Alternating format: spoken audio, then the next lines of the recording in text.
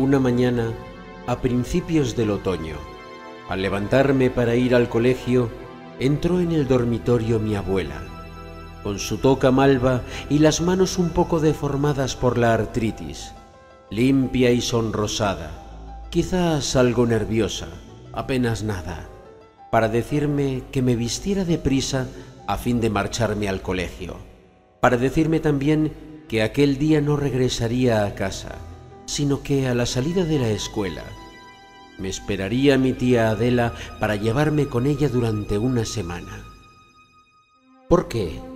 Le pregunté mientras diligente comenzaba a vestirme. Mamá se ha puesto enferma.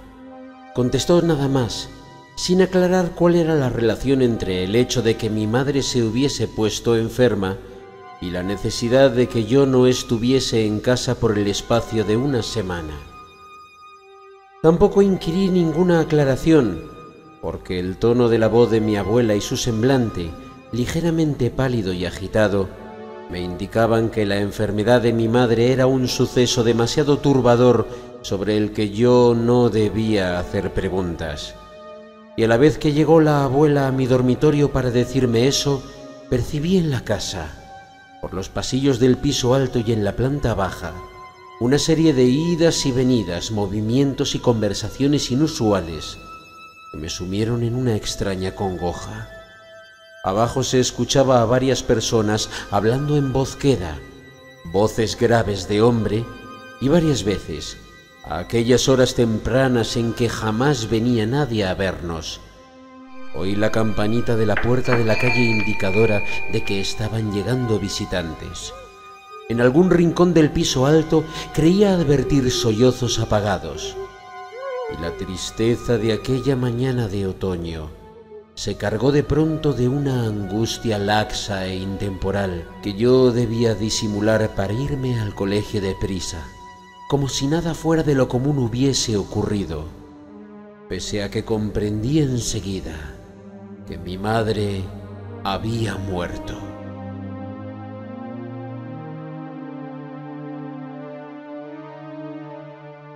Cuando regresé a mi casa al cabo de cinco días no pregunté por ella. Era obvio que ya no estaba en casa. Nunca la mencioné durante el resto de mis días. Sabía que había desaparecido y no regresaría jamás, máxime cuando encontré a toda mi familia enlutada. Máxime cuando mi abuela se ocupó de mí apenas llegué, encargándose solícita de todos los cuidados que mi madre me prodigaba. Máxime cuando mi padre, durante algunos cuantos días, me trató con una deferencia especial. Solo mucho más tarde, cuando mi abuela creyó entender que yo había entrado ya en edad de razonar, la tarde de un domingo aburrido y sofocante de septiembre, cuando yo estaba estudiando en mi cuarto, y ella pasó a recoger la taza de café que me había tomado después de comer, Comenzó a hablarme y yo acepté gustoso su conversación. Entonces habló de mi madre. Me hizo notar que yo nunca había preguntado nada sobre ella a partir de la mañana en que vino a despertarme diciéndome que estaba enferma. Y omitiendo detalles, me narró las circunstancias de su muerte. Narración que escuché absolutamente en silencio un relato que desde ese momento le deparó a mi vida una vaga inquietud siempre presente.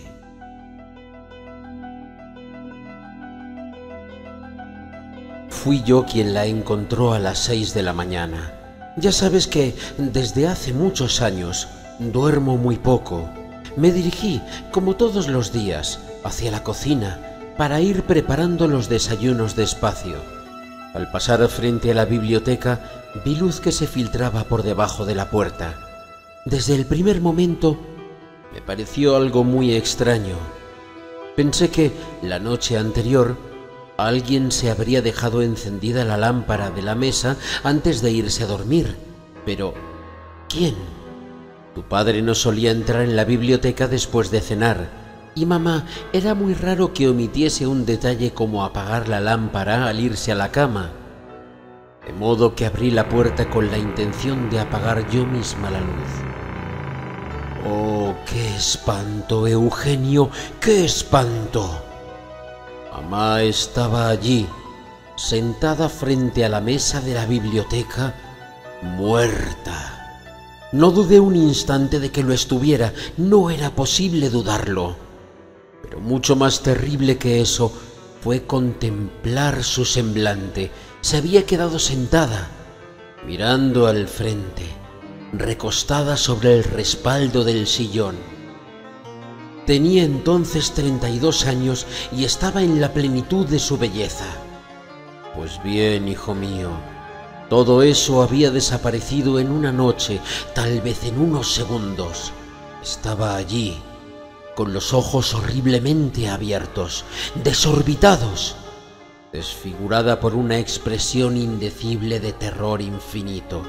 Su rostro, envejecido súbitamente, mostraba atroces arrugas de anciana y el tono ceniciento de su piel delataba un espantoso final presa del pavor. Supe enseguida la causa, Eugenio. Lo supe enseguida. Ella... No sé por qué. Dios mío, me lo he preguntado tantas veces. No sé por qué. Había abierto la caja. La tenía delante, sobre la mesa, cerrada ya. Su mano derecha yacía sobre la tapa, como si la hubiese bajado de nuevo cuando ya era demasiado tarde. No pudo ser otra cosa, no hay ninguna otra explicación. Sí, Eugenio, ella la abrió.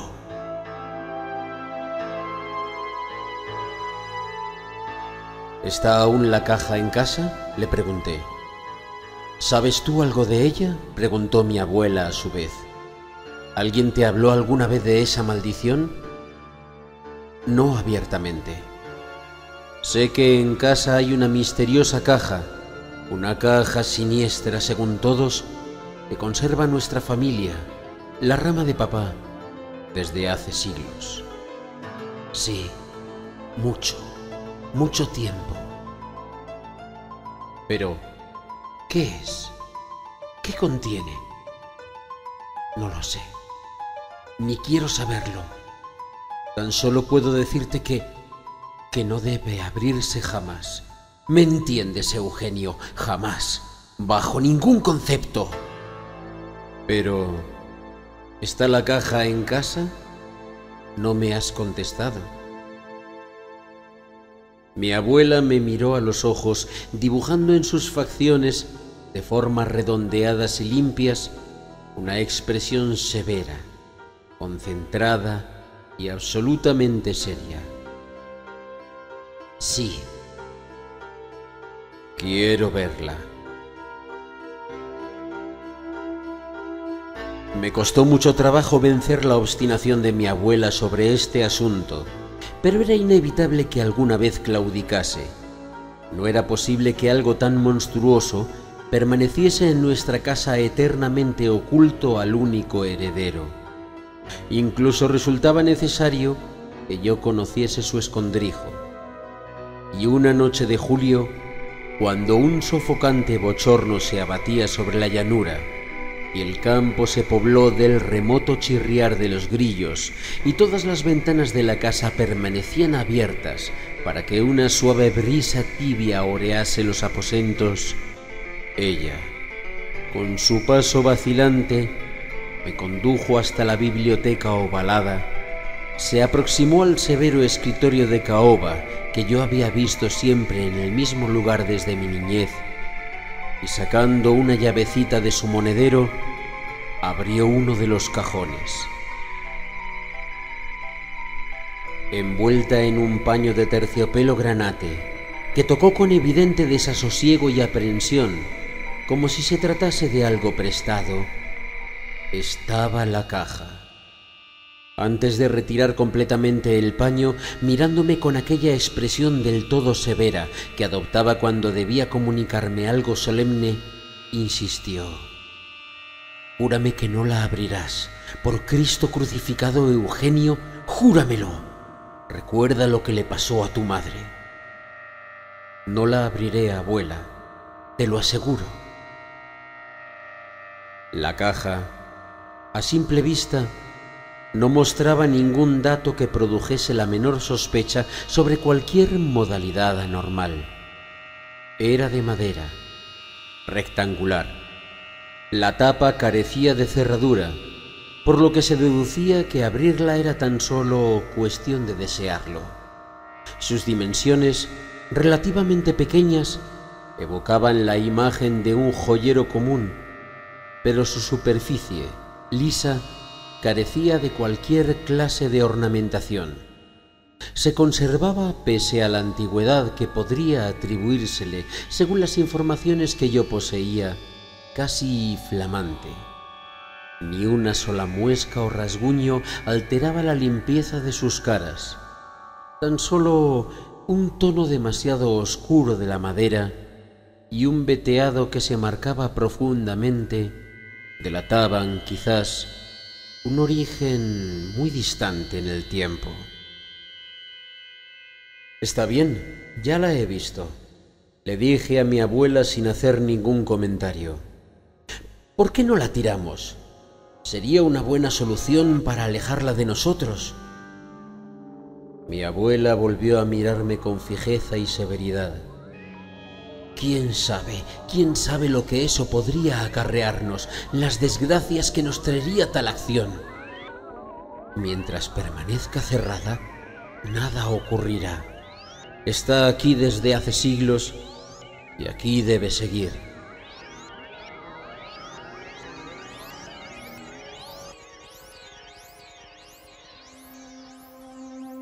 Han pasado muchos años y a esa edad en que las gentes de mi condición han accedido al calificativo de personas respetables, una fatídica suma de acontecimientos desgraciados y turbulentos me han arrastrado a un estado de permanente ignominia que tan solo pueden mitigar desesperados paseos a caballo por el páramo a la caída de la tarde.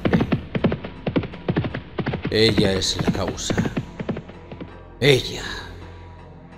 Contraje matrimonio muy joven con una mujer a la que cuadran en la actualidad todos los epítetos que contienen el concepto de detestable.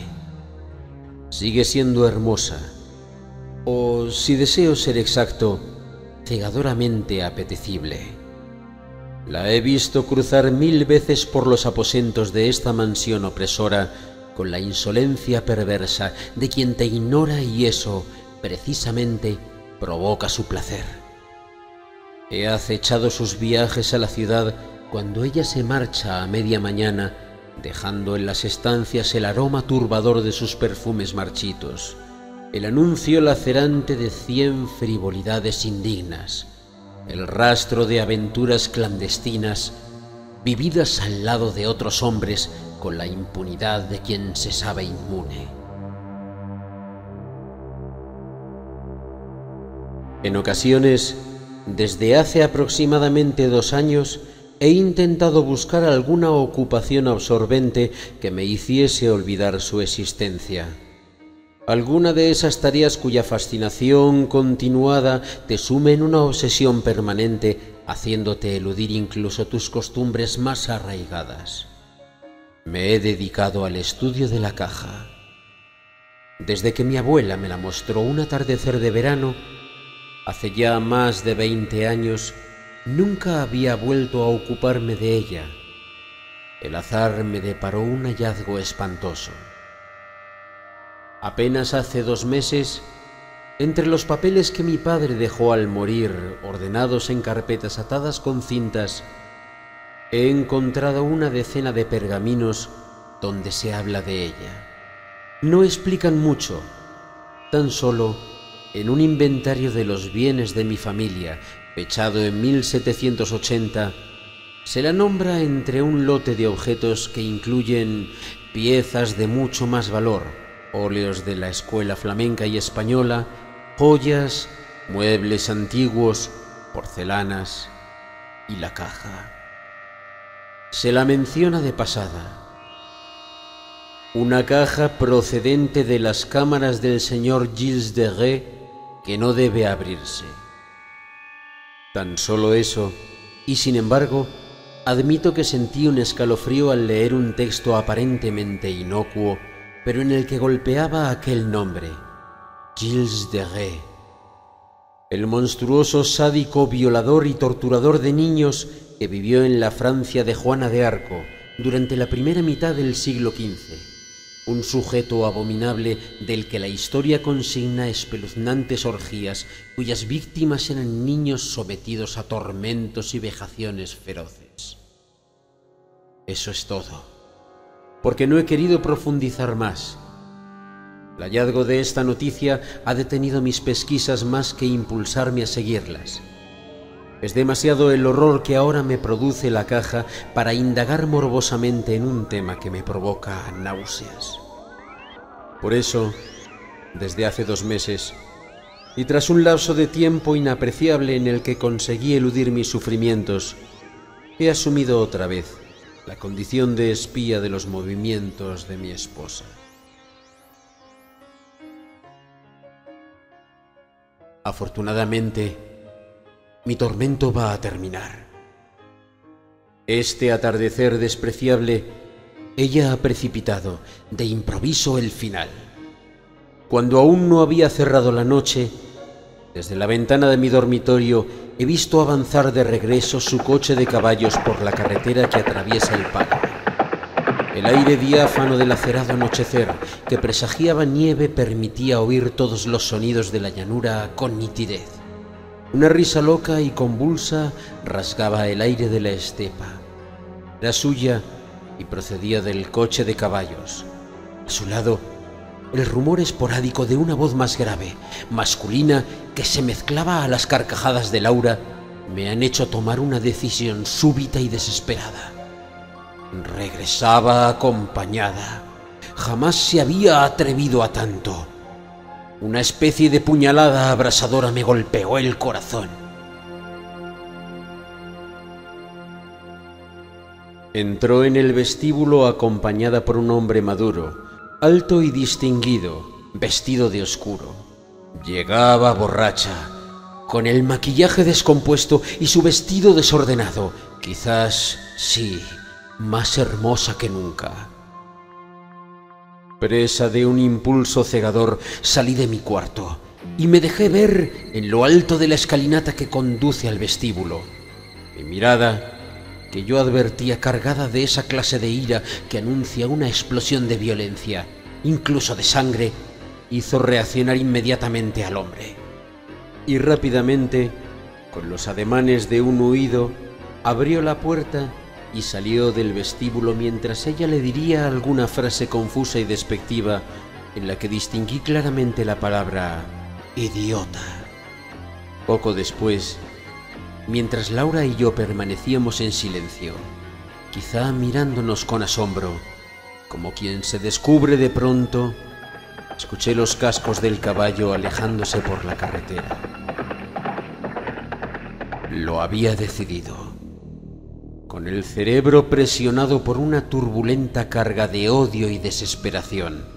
Bajé lentamente la escalera intentando no alterar mis movimientos, procurando mostrar esa clama que se traduce en lentitud cuando la cólera te ciega, pero a la vez tratas de contener el estallido de tus impulsos hasta el momento preciso. Me acerqué a Laura y con un tono martilleante y pausado que combinaba a obedecer, le dije, Acompáñame a la biblioteca. Quiero mostrarte algo que desconoces y que está hace muchos años en esta casa. Ella me siguió arrastrando su cuerpo sugerente con una cadencia abandonada. Con el rostro sofocado por el alcohol y la excitación, haciéndome caso como quien condesciende a la petición de un imbécil. La biblioteca estaba fría. Habían comenzado a caer los primeros copos de nieve y en el páramo se escuchaban, como todas las noches, los lejanos ladridos de los perros. Saqué la llave del cajón del escritorio donde permanecía la caja desde hacía tal vez siglos, y mientras procedía a abrirlo, cada vez más tranquilo, le dije, siéntate ahí, en esa silla, la misma donde se encontraron muerta a mi madre. Y ella obedeció, justamente cuando yo tomé la caja con un escalofrío, y los perros de la noche habían dejado de ladrar, y se hizo un silencio absoluto en el páramo y en la casa, y me acerqué a la mesa para depositar sobre ella la maldición, al tiempo que un perro perdido estremecía el frío de la noche con un aullido de muerte, yo colocaba la caja delante de ella sobre la mesa, y le decía, es para ti, ábrela. Y Laura adelantaba su mano cerúlea hacia el cofre y sus dedos tocaban la tapa de madera para levantarla, quizá sorprendida, expectante sin duda.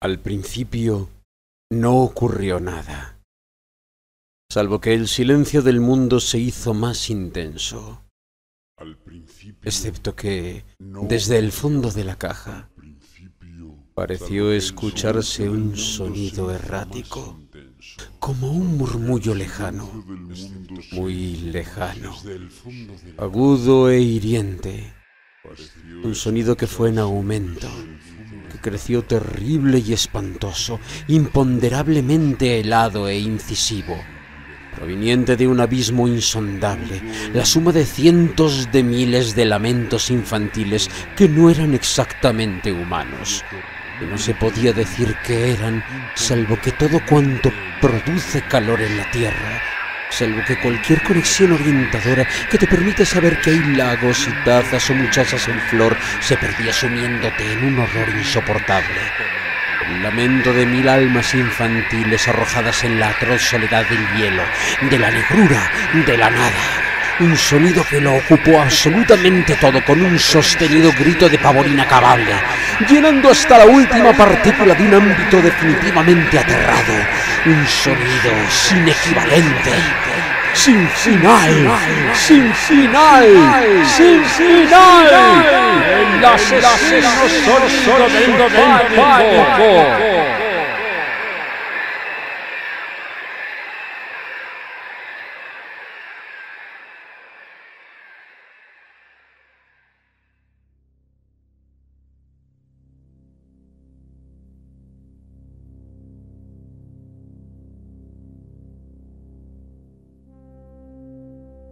La criada que se ocupaba de limpiar el polvo de la biblioteca los encontró a las diez de la mañana.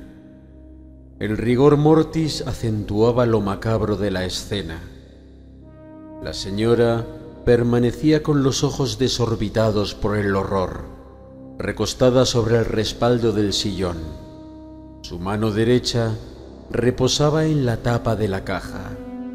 El hombre estaba de rodillas, junto a ella, abrazado con desesperación a su cuerpo. Sus rostros, cuya piel había adquirido una siniestra tonalidad cenicienta, mostraban un atroz envejecimiento súbito.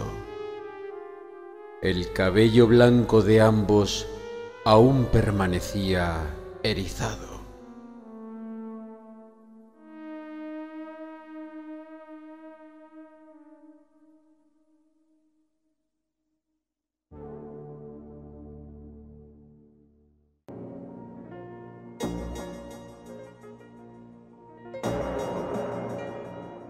Han escuchado ustedes El sonido del pánico de José Luis Velasco, perteneciente a la histórica colección Biblioteca Universal de Misterio y Terror.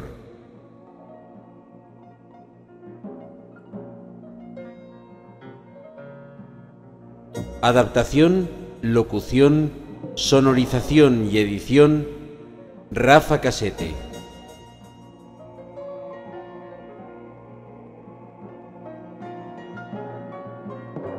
Una dramatización creada para...